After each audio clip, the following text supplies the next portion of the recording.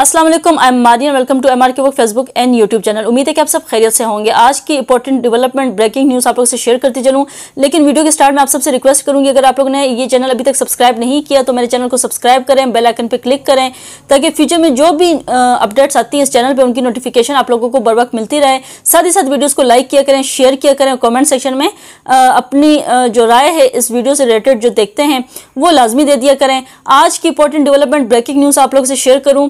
गुजशत रोज़ बैरोत में जो लबनान के मजामती तंजीम के सरबराह हैं, हसन नसरुल्ला उनको शहीद किया गया इसराइल की जानब से। उन्होंने हमला करके उनको शहीद किया। उस हवाले से कुछ डेवलपमेंट्स हुई हैं जो आप लोगों के सामने रखूँगी। हिजबुल्लाह के ज़राए ने बताया कि उसके जो सरबराह हैं, हसन नसरुल्लाह की लाश मलबे से निकाल ली गई है और जो ज़राए के मुताबिक हसन नसरुल्लाह के जिसम पर ज़ख्मों के निशानात नहीं हैं। कहते हैं कि ऐसा मालूम होता है ये रिपोर्ट किया गया है कि वो एक टन बारूद वाले बम के धमाके की धमक बर्दाश्त ना कर सके और दिल की धड़कन बंद हो गई। हिजबुल्ला ने यह नहीं बताया कि हसन नसरुल्ला की जस्ती खाकी मजमू तौर पर किस हालत में है। आ, उनकी मौत किस तौर वाक़ हुई और उनकी तदवीन कब की जाएगी। ये उनकी जानब से कुछ मज़ीद क्लियर नहीं किया गया। साथ ही साथ ये बताऊँ, इसराइल के जो वज़ी अजम हैं, उन्होंने जो नीतन याहू हैं, उन्होंने एक वीडियो पैगाम जारी किया और उसमें उन्होंने कहा कि जो हिजबुल्ला के सरबरा हसन नसरुल्लाह की मौत को तारीखी मोड़ इसको करार देते हुए कहा है नीतन याहू ने कि हसन नसरुल्लाह का कत्ल खत्े में ताकत का तोज़ुन बदलने के लिए ज़रूरी था। हसन नसरुल्लाह और उनके साथी इसराइल को दबा तबाह करना चाहते थे। इसराइली जो वजी अजम है नीतन याहू ने कहा जो न्यूयॉर्क का दौरा मुकम्मल करके वापस इसराइल पहुँचे हैं, जहाँ से उन्होंने हसन नसरुल्लाह पर हमले और उनकी हलाकत पर कहते हैं कि बयान दिया है। कौम से अपने खिताब में नीतन याहू ने कहा कि रवा हफ़्ते इस नतीजे पर पहुँचे थे कि हिजबुल्ला पर मौजूदा हमले काफ़ी नहीं, क्योंकि नसरुल्ला ना सिर्फ़ ईरान के इशारे पर काम करते हैं, बल्कि ईरान को ऑपरेट करते हैं। इस हवाले से भी कुछ डेवलपमेंट है ईरान के हवाले से। ये भी अभी आगे चल के शेयर करूँगी। इसी से रिलेटेड है कि कौन मुलविस था।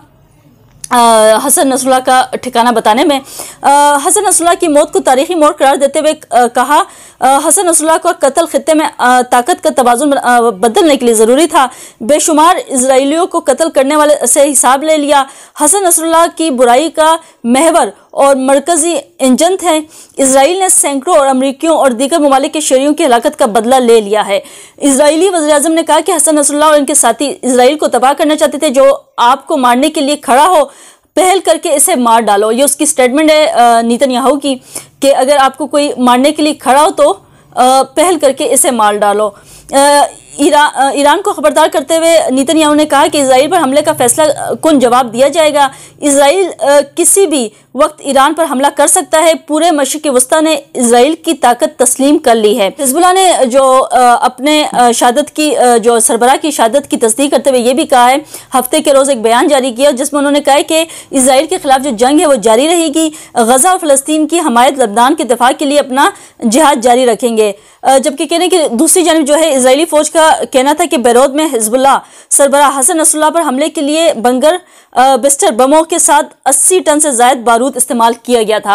अब जैसे कि मैंने आप लोगों को कहा कि इसके हवाले से एक मजीद और भी डेवलपमेंट है, जैसे कि इन्होंने बयान दिया नीतन याहू ने और उन्हें जो ईरान है उस पर हमले की थ्रेड भी दिया है उनको ईरान को कि वो किसी भी टाइम ईरान पर हमला कर सकते हैं। लेकिन फ्रांसीसी अखबार कुछ और बता रहा है और फ्रांसीसी अखबार के मुताबिक ईरानी जासूस हसन नसरुल्लाह के ठिकाने का पता एक ईरानी जासूस ने बताया था। ये दावा फ्रांस के मशहूर अखबार ने किया है। अखबार ने लबनान के सिक्योरिटी फोर्सेस जराए के हवाले से बताया कि इसराइल ने एक ईरानी एजेंट के ज़रिए हसास मालूम हासिल की थी। जब नीतन याहू ये थ्रेट कर रहे हैं, ईरान को कि उन पर हमला किया जाएगा, वो मुलविस था, जबकि ईरान जो है, वो उसके टाउट ने कहते हैं कि वो खबर दी थी इसराइल को। अब जो रुख है, वो बड़ी ही ख़तरनाक तरफ़ ये मोड़ रहा है। सिचुएशन जो ईरान के लिए है, वो बहुत ख़तरनाक बनती जा रही है। दोनों जानब से जो ईरान है, वो अब बुरी तरह से फंस चुका है। लेकिन ईरान को भी खैर जवाब बड़े ज़बरदस्त किस्म का देना आता है, और वो ज़रूर मुँह तोड़ जवाब देंगे इसराइल को। ईरानी जासूस ने हसन नसरुल्ला की बैरूत के जनूबी मजाफाती इलाके में मौजूदगी की निशानदही की थी। इसकी फराम करता मालूम की रोशनी ही में इसराइली फौज ने कहते हैं कि हमला किया है। सो जैसे कि मैंने आप लोगों को कहा कि इस तरह से ये स्टेटमेंट फ्रांसीसी अखबार की तरफ़ से जारी होना जिस टाइम में आर ऑलरेडी जो है वो ईरान को थ्रेट्स इसराइल की तरफ़ से मिल रही हैं। तो बड़ी ही एक गंभीर किस्म की सिचुएशन बना सकता है, लेकिन जैसे कि ईरान को मैंने पहले कहा कि ईरान जो है वो बड़े ही ज़बरदस्त किस्म का जवाब जो है पलट के दे सकता है इसराइल को। तो खैर, ये आज की बड़ी इंपॉर्टेंट डेवलपमेंट थी जो मैंने आप लोगों से शेयर की। उम्मीद है कि आप लोगों को ये व्लॉग जो है वो अच्छा लगा होगा। इसके बारे में जो राय है, इन व्लॉग्स के बारे में ज़रूर कमेंट सेक्शन में दे दिया करें। आप लोगों से मुलाकात होगी नई व्लॉग में। अंटिल तन